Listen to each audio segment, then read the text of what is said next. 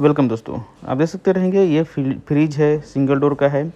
और ज़्यादातर प्रॉब्लम आता है, एसी फ्रिज जो रहता है, सील टाइप रहता है, और उसके अंदर जो कंडेंसर वगैरह रहता है, वो लीक हो जाता है।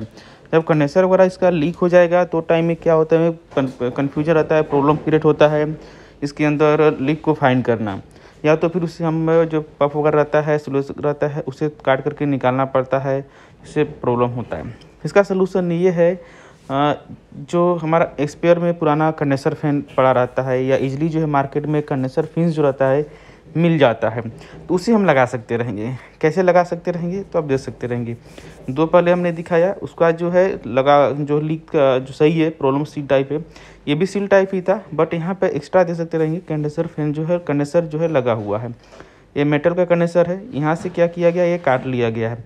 बेसिक जो है इधर छोटा नहीं आता है। हम अपना जो बड़ा कंडेंसर बड़ा फ्रिज रहता है या फिर नॉर्मल बाहर मार्केट में, कबाड़ में स्क्रैप में बहुत से फ्रिज मिल जाते हैं। उसका कंडेंसर जो है सही रहता है।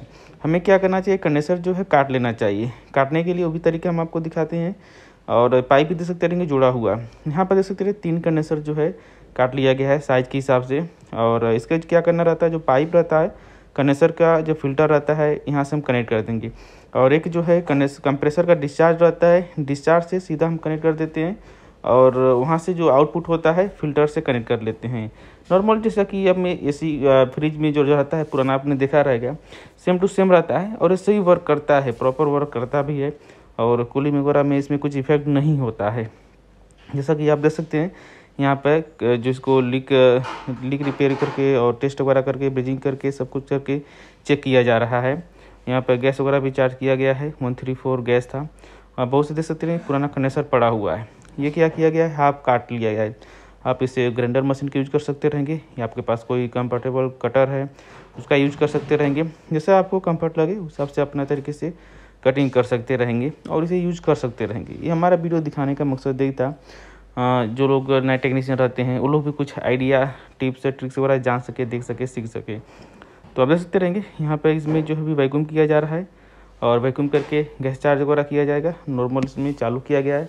चालू करके हमने पहले चेक किया हुआ है टेस्ट किया है। सक्सेसफुली होके वर्क कर रहा है। या आप मार्केट में बहुत से लोग देखे रहेंगे, ऐसा पहले से भी करते हैं, बनाते हैं, चलता है। तो पुराना इसका तरीका ये है, कोई सा भी अगर सील्ड उसका लीक हो गया है बॉडी में अंडरग्राउंड जो है लीक हो गया है उसको अंदर छोड़ दें। कंप्रेसर से जो डिस्चार्ज पाइप रहता है, उसे हमें काट लेना है। और जो फ़िल्टर लगा रहता है, जो कैपुलेटिव रहता है फ़िल्टर वहाँ से हमें निकाल लेना है। उसमें जो है पाइप ऊपर आता है तो एक्स्ट्रा पाइप हम जोड़ लेंगे वेल्डिंग के माध्यम से। जोड़ करके इसे रीयूज कर सकते रहेंगे। और नॉर्मल बेसिक जो रहता है, वो कर सकते रहेंगे। और भी अब इसमें डिटेल से जानना चाहते हैं, देखना चाहते हैं तो अगले पार्ट में हम जानेंगे, देखेंगे। ये हमारा छोटा सा इन्फॉर्मेशन था।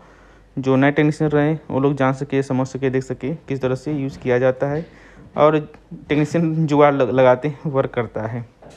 उसी तरह से जानकारी के लिए हमारे चैनल सब्सक्राइब कर सकते रहेंगे। सब्सक्राइब करने के बाद जो बेल आता है आल नोटिफिकेशन आता है उसे ऑन ज़रूर करें जिससे कुछ भी इस तरह से वीडियो बनाएँ।